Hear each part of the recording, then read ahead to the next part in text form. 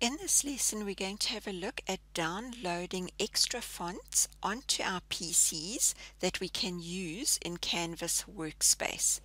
So the first thing we need to do is go to our internet browser and just type in the word font or fonts or font download, anything that's got the word font in it. And you'll see that your internet browser will then find you a whole lot of websites that have got fonts that you can download from. Now, the first one up at the top here, the 1001 free fonts, is the one that I use a lot, as well as DaFont. There are lots of others though, so scroll through and see which one suits your needs best. But for this lesson, I'm going to go to the 1001 free fonts and open that website. Now, on the opening page, generally, you'll find that they have the most popular or the newest fonts available for you here. But if you go up to the top, there are alphabetically organized fonts. So if you want a curly font, a fancy font, an italic font, an old school font, whatever kind of font you want, there will be a category that suits you. So now I've clicked on the retro font and you'll see that it's opened up and it said that there are 775 retro fonts in that category. So you'll find them split over all of those pages. Now let's first take a quick look at the types of fonts that would be suitable and the ones that wouldn't be suitable for cutting if we take a look at the first one up at the top here, this would be fine for drawing or writing on your scan and cut, but for cutting it might be a little bit too skinny.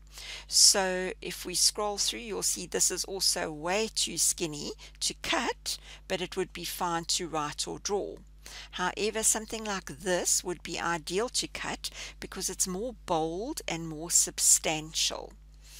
Now what we're going to do is in this lesson I'm going to avoid using or downloading a font where the letters are joined together okay? So that is your script type font. What I'm going to do is I'm going to download a font where you have individual letters. So I'm going to go to page 2 because I know that there's one on there so let's go down and just have a look. Now you'll see these are all individual letters. Now this one would be ideal for cutting. So I'm going to download that. But just before I download, there's something else that I want to show you. You'll see that next to the font is the download button.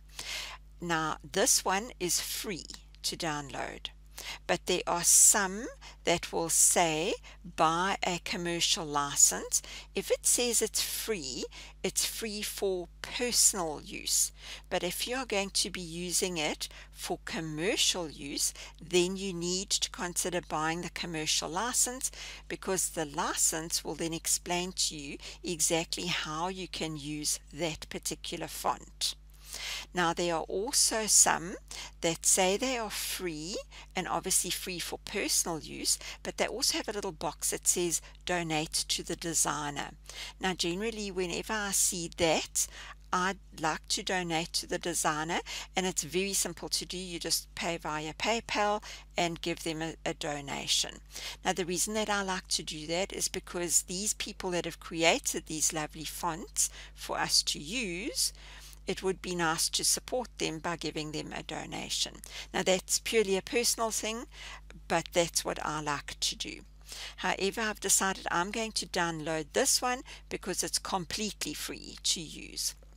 So let's go and download it. Now you can click on the actual font and it will open up and it'll show you the character map and that will tell you exactly what is in that font collection.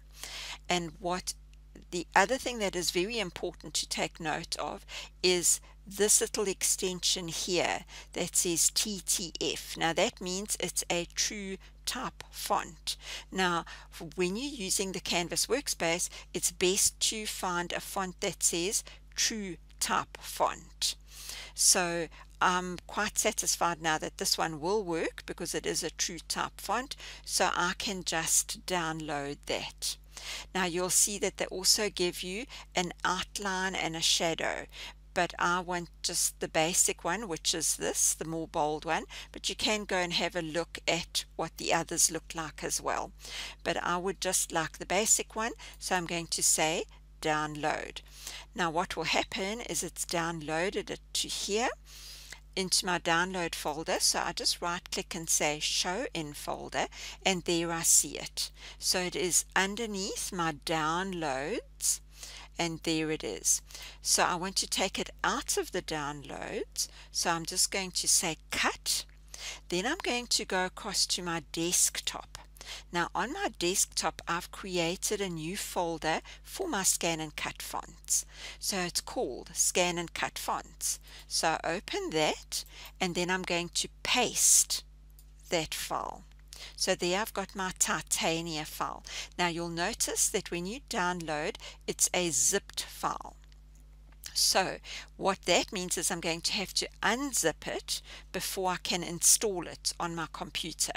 So the next thing I like to do is I make a new folder and I call it Titania. And then I'm going to take that zipped file and I'm just going to left click and drag it and drop it into its folder. So there it is there. Now the reason for that is that I'm going to unzip it now and then all the unzipped pieces are going to go into this folder. So everything's grouped nicely together. So I say open and then it's going to ask me if I want to unzip it. There we go. And I'll say yes, unzip the file, but please to a folder that I choose. So it automatically defaults to this folder. So I say unzip. So now you'll see all of the little pieces get put together in that folder. So everything is grouped together. Now when you download, it downloads all of those files. So it's the outline and the shadow, but I had decided that this is the one I want.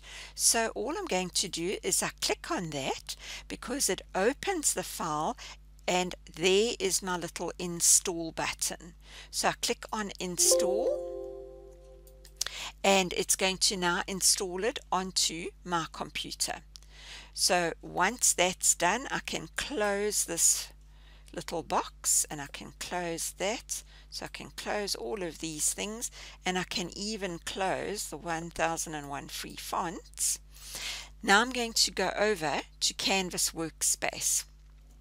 So I'll go to Canvas Workspace and I'm using the version for the PC in other words the version that is usable offline so let's just close this little box and that little box. Now, if you aren't familiar with all of the little steps that I'm doing here, please go and watch the video on the Canvas workspace, the offline version. So now when it opens up, you'll see it always defaults to the shapes being open. So I'm just going to close those shapes by clicking on that icon. And then I'm going to maximize this window so that it's easier for you to see. I also want to zoom in a little bit more. And now I'm ready to go and access my brand new Titania font. So if I go to the text tool and I click on that, it opens up a little drop down box and inside here are all of the fonts that are on my PC. Now I have installed that Titania so I'm just going to scroll all the way down to the T's and there I find it there. Now if I had opened Canvas Workspace and I hadn't installed Titania on my computer it obviously would not be there but since I've now installed it on my PC Canvas Workspace can access it.